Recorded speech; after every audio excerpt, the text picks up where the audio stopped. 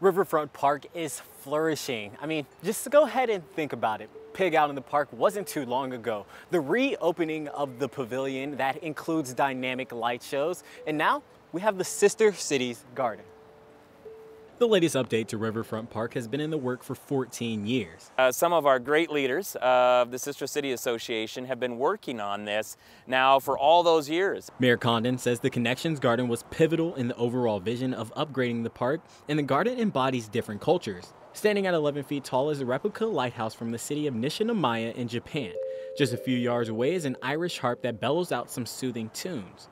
Actually, the site of the, uh, of the Connections Garden is where the Japanese pavilion was, and we have a marker here in the ground that shows that. The new addition won't be the last of upgrades. Still to come on the North Bank is a playground and basketball court that'll open in a few years. The immediate future is still in mind, though. We'll also see some new activities in the uh, pavilion through the fall and winter. Uh, so Fall Fest will be coming back this year. Uh, so we'll see uh, possibly a maze happening someplace in the pavilion. We'll also see some yoga, uh, and we'll continue to do our free tour, heritage tours uh, here at the park as well. Moog says he expects all of the recent efforts to bring a renewed life through the park. Reporting from Riverfront Park, I'm Brandon Jones, KREM 2 News.